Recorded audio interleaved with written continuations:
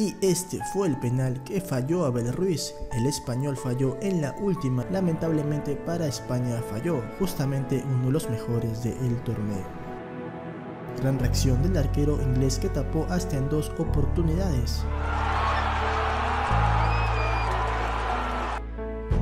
Los españoles no lo podían creer, se les fue el título.